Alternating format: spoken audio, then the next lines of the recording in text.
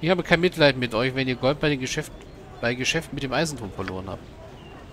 Wenn ich nicht schon so schrecklich wütend auf Saribok wäre, wäre ich auch euch ein wenig in, würde ich auch euch ein wenig im Mangel nehmen. In die Mangel nehmen. Ich muss unbedingt mit den Großherzögen über das Benehmen Sarivoks sprechen. Stellt euch das einmal vor. Er übernimmt die Führung des Eisenthrons und hat dann nichts Besseres zu tun, als die Glaubwürdigkeit des Handels zu zerstören, indem er ihn praktisch für null und nichtig erklärt. Er mag der Stadt so vielleicht den Rücken stärken, aber das ist doch sehr unprofessionell. Etwas Merkwürdiges geht in diesem Gebäude des Eisenthrons vor, sage ich euch. Ich weiß, dass die früheren Anführer getötet wurden, aber die übrigen würden dies nie zulassen, jedenfalls nicht bereitwillig. Äh, Flammende Faust attackiert Vikonia, nicht gut. Nach seiner Machtübernahme... Oh, steht das hier im Log? Der Aufstieg Sarivox. Nach seiner Machtübernahme über den Eisenthron hat Sarivok damit begonnen, dessen Mittel bis zum äußersten auszuschöpfen. Selbst wenn die ehemaligen Anführer tot sind, werden die übrigen Mitglieder in solch mutwilligen Plünderungen nicht lange tatenlos zusehen. Was hat Sarivok vor?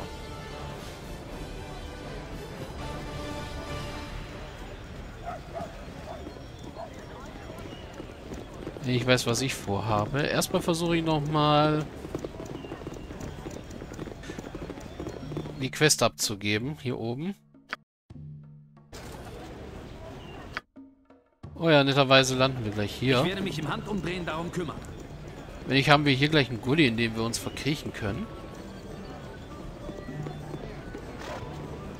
Ich würde es nur vorziehen, wenn meine äh, Gefährten sich nicht ineinander so verkeilen würden. Vor allem auf offener Straße. Oh ja, hier haben wir...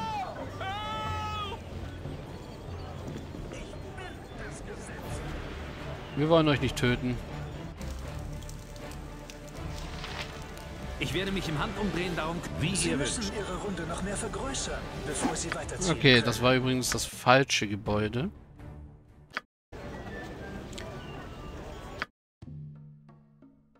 Das ist doch Nordwesten. Ach, Quins Haus. Ich werde da mich müssen wir rein. Darum kümmern.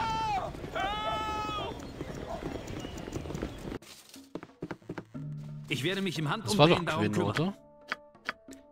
Nee, das war nicht Quinn.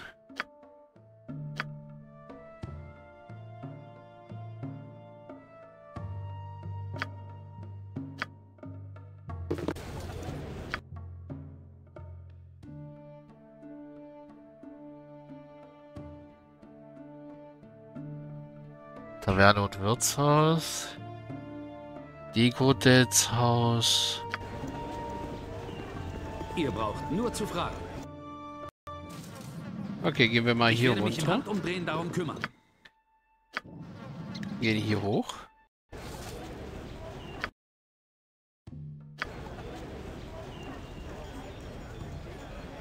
Hm, ich frage mich gerade, gibt's hier in der Nähe? Ja, da würde es noch einen, aber in den kommen wir Ihr nicht rein. Nur zu fragen.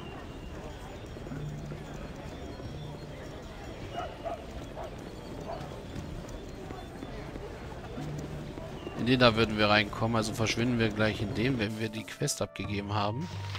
ah, nur zu fragen. Da. Ich bin mit eurer Fingerfertigkeit sehr zufrieden. Hier habt ihr 200 Gold müssen für eure Umstände. Ragas hat mich für meinen Diebstahl großzügig entlohnt. Ja, nicht wirklich, aber egal. Das Geld brauchen wir eh nicht, geht nur um die Erfahrungspunkte und die Tatsache, dass wir das Ding aus dem Inventar loswerden.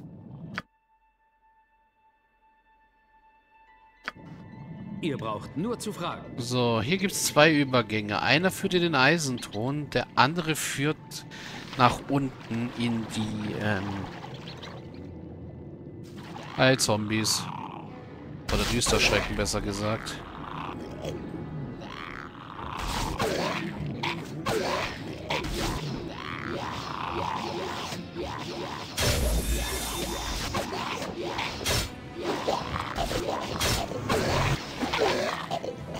Okay. Jetzt müssen wir kurz warten, bis er wieder aufgetaut ist.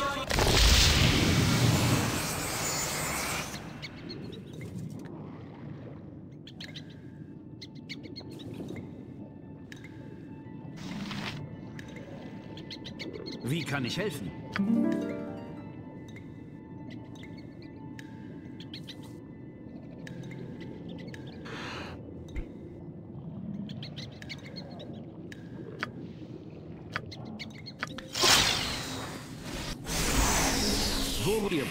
Okay, er ist wieder aufgetaut. So. Welches Ding für den Eisenthron und welches führt nochmal in den Unterkeller? Das für den Unterkeller, okay. Ihr braucht nur zu fragen. Okay, Dila will nicht mit uns reden. Kurtisanen sind mir sowas von egal. Schau mal, Christin, meine Süße. Sleeve, na was haben wir denn da? Schwertfutter. Richtige Mordskerle. Ich weiß nicht, Sleeve, sie sind riesig und furchteinflößend und ich hatte gerade an jemand anderen gedacht. Oho, sie hat eine Zunge aus Stahl und ein Herz aus Gold, meine Christine, und sie ist so hübsch, dass sie sich unsichtbar macht, damit sie nicht von Typen belästigt wird. Sie würde zwar sowieso keiner wagen, wenn einer, wenn einer wie ich sich um sie kümmert. Slivlin, sag du es ihnen, ja? Liebling, du kennst mich doch. Du kennst deine alten Slivy.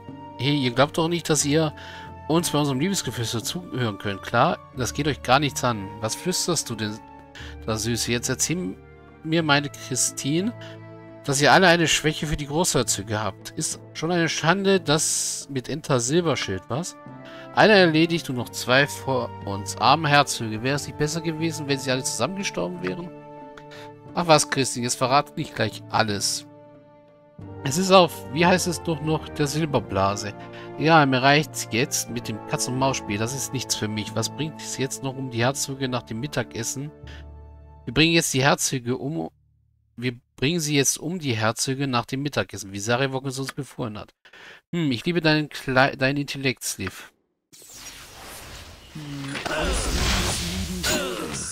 Ja, wie ihr wünscht. Lasst sie uns ordentlich verdreschen. Wie, wie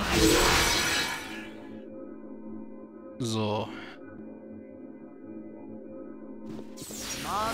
Das wird kein schneller Tod.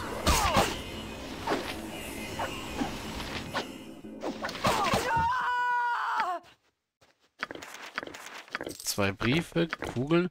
Bei den Treten des Unterhändlers wurde ich von den Meuchelmännern Liv und Christine abgefangen. Neben einigen anderen interessanten Dokumenten fand ich bei der Durchsuchung ihrer Leichen auch eine Einladung in den Herzogspalast, die ich als nächstes aufsuchen sollte. Ja. äh, Ihr braucht nur zu fragen.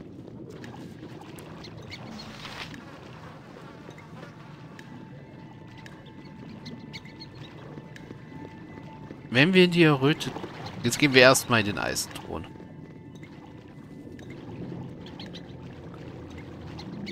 Das müsste dieser Gang hier sein. Führt mich in den Keller des Eisenthrons. Warum auch immer er hier oben ist, dieser Sie Gang. müssen Ihre Runde noch mehr vergrößern, bevor Sie weiterziehen können. Ich werde mich im So, Handumdrehen gut. darum kümmern. Ja, ich habe neu geladen, weil ich möchte eigentlich nicht die Abfolge so sehr durcheinander bringen. Ihr braucht nur zu fragen. Lass mich gehen oder die Wache bekommt dich. Pangwalm, was geht hier... Was geht mir aus dem Weg? Es ist mir ganz egal, wer ihr seid. Ich will nur weg von hier. Und wer seid ihr? Ich heiße Pang und wäre euch dankbar, wenn ihr mir aus dem Weg gehen könntet. Es ist mir völlig egal, warum ihr hier seid. Nehmt alles, was ihr wollt, wenn ihr zum hier seid. Ich will jetzt nur noch weg. Dieser Saalburg ist ja Größenwahnsinnig. Unser Anführer war... Anführer war noch keinen lang, Tag lang tot, als er sich zum neuen Anführer des Eisenthrons erklärte.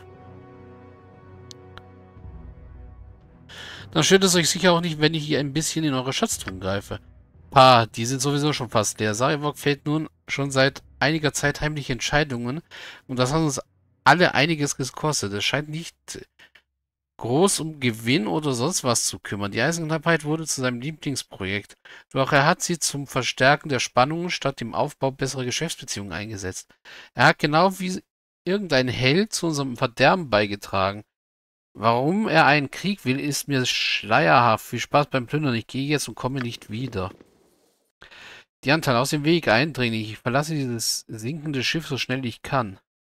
Warum habt ihr solche Angst? Sarivok, hat Sarivok nicht alles unter Kontrolle? Ich will ja gar nicht bestreiten, dass er alles unter Kontrolle hat, aber egal was er plant, er hat bestimmt nicht das Wohl des Eisenthrons im Auge. Er hat uns im Stich gelassen für seine neue Position. Er soll schon bald zum Großherzog ernannt werden und muss er dafür uns muss er dafür loswerden und es würde mich nicht überraschen, wenn er die flammende Faust morgen hier durchschicken würde. Als Beweis seiner Haltung gegenüber Handelsverbrechern. Äh, Saribok wird Großherzog? Wie kann das sein? Eigentlich ganz einfach. Er hat sich die Unterstützung verschafft, indem er versprach, das sie von ihm selbst gestiftete Chaos zu bekämpfen. Mit dieser Idee sollte er außerordentlich erfolgreich sein, wenn man bedenkt, dass er alles unter Kontrolle hat, seit unsere Anführer tot sind. Ich bezweifle jedoch, dass er es auf ein nettes und ruhiges politisches Leben abgesehen hat. Er scheint möglichst viel Zerstörung anrichten zu wollen und ich glaube, er will einen Krieg gegen Am provozieren. Warum würde er einen so zerstörerischen Plan verfolgen? Welchen Vorteil bringt ihn das? Woher soll ich das wissen? Ich bin kein Hellseher. Ich weiß nur, wie man Geschäfte macht. Aber was er tut, macht wirtschaftlich keinen Sinn. Wollte er reich werden durch den Erzhandel, hätte ich das verstanden. Hätte er den Eisenton unversehrt gelassen, hätte er eine angesehene Position als Herzog dazu benutzen können, Sanktionen gegen Amt zu verhängen und auf diese Weise unser Handelsrecht über die Gruppe wie die Ritter des Schilds auszuweiten. Wie es aussieht, will er uns jedoch aufgeben und einen blutigen Krieg anzetteln. Die Maunischen glauben an Sarevok und es braucht mehr als eine Klinge, um sein Ansehen in den Augen der Öffentlichkeit zu schmälern. Wie kann das Volk an ihn glauben? Sehen sie nicht sein wahres Wesen? Menschen sehen, was sie sehen wollen, und sie wollen einfach einen Retter sehen. Er bietet ihnen Stabilität und scheint sie auch gewährt zu, gewähren zu können. Das ist mehr als all, als andere ihnen bisher haben bieten können. Ich habe genug von diesem Gerede. Wenn ihr mich niederstrecken müsst, dann tut, wie es euch beliebt, aber erwartet nicht, dass ich das abwarten werde. Nee. Verschwind du mal. Wichtige Ereignisse. Sarivok hat den Eisenthron im Stich gelassen und will nun einer der Großherzöge von, einer der Großherzöge von Baldur's Tor werden. Ich muss Beweise finden, die ihn belasten und zwar schnell. Vielleicht werden, wird die Durchsuchung des Eisenthrons Dokumente ans Tageslicht befördern können, die, mal, die mir dabei helfen können. Ja, und äh, Tizen. Sarevok hat sich als Anführer des Eisenthrons etabliert und dabei dessen kaufmännische Glaubwürdigkeit praktisch zerstört, indem er ihn ausplündert. Sind dann mehr Dinge gegen im Gebäude des Eisenthrons vor. Ihre ehemaligen Anführer wurden zwar getötet, doch die verbleibenden Mitglieder würden so eine Behandlung nie zulassen, jedenfalls nicht freiwillig. Nach dem Tod der ehemaligen Anführer des Eisenthrons hat Sarevok die Kontrolle über ihn übernommen. Mhm. Ja, Skars tot. Da muss ich... Äh Zerrüttende Nixe. Äh. Sarivok nutzt die Mittel des Eisenthrums, um seinen Griff nach der Macht in Baldur's Tor zu finanzieren. Zudem hat er als Nachfolger für den überraschend verstorbenen Skain in Lakaien als neuen Kommandanten der Flammenden Faust bestimmt. Offensichtlich ist die Großherzogenwürde sein Zwischenziel. Auf sein Endziel lässt sich daraus allerdings noch nicht schließen. Sarivok hat die Führung über den Eisenthron nach dem Tod der Anführer übernommen, doch er scheint kein Interesse am Eisenthron zu zeigen und trifft Entscheidungen, die ohne Zweifel die gesamte Organisation ruinieren werden. Er hat offensichtlich schon die, die ganze Zeit hinter den Kulissen die Führung inne gehabt und die Eisenkampagne dazu benutzt, die Spannung zu verschärfen, statt ihn als Verdienstmöglichkeit anzusehen. Welche Motive er da hat, sie sind sicherlich nach darauf nicht darauf ausgerichtet, den Eisenthron zu nutzen. Und ja, meckert und nur wie Kohn, ja, nur wenn wir rumstehen. Nach seiner Machtübernahme über den Eisenthron hat Sarivok damit begonnen, dessen Mittel bis zum Äußersten auszuschöpfen. Selbst wenn die ehemaligen so Anführer tot sind, werden die übrigen Mitglieder in solch umwiegenden Plünderung nicht lange tatenlos zusehen. Was hat Sarivok vor? Das finden wir raus, indem wir jetzt nach oben gehen. Ja? Wer seid ihr? Habt habt ihr hier etwas zu suchen? Auf welche Rolle spielt es schon? Es ist sowieso alles ein völliges Durcheinander. Ich habe mehr Widerstand bei meinem Einbruch erwartet. Was geht hier vor? Hier passiert fast gar nichts. Alles bricht in sich zusammen, während wir uns hier unterhalten. Und dann ist nur eine Person schuld. Und wer soll das sein? Garantiert ist Sarivok der Übeltäter. Er verlangt nach der Macht über den Eisenthron. Aber welchen Zweck er damit verfolgt, ist mir ein Rätsel. Er schmeißt mit Gold um sich, als wäre es Kupfer und hat sich den Eisenthron zunutze gemacht, um Regierungen gegeneinander aufzuwiegeln, anstatt unsere Schätze beisammen zu halten. Er ist auf dem besten Weg, aufgrund seiner Bemühungen, sein eigenes, dafür angerichtetes Chaos zu ordnen. Großherzog zu werden. Aber ich bezweifle, dass dieser Titel sein Blutdurst stillen wird. Wer seid denn ihr eigentlich und was macht ihr hier? Ich bin hier, um meinen Namen vom Mord an den Anführer des Eisentons ranzuwaschen. Ich bin hier, um Sarivok für seine Taten umzubringen. Dann werde ich euch ziehen lassen. Je mehr Klingen Sarivok heute Nacht verfolgen, desto besser. Ich muss jetzt gehen. Äh,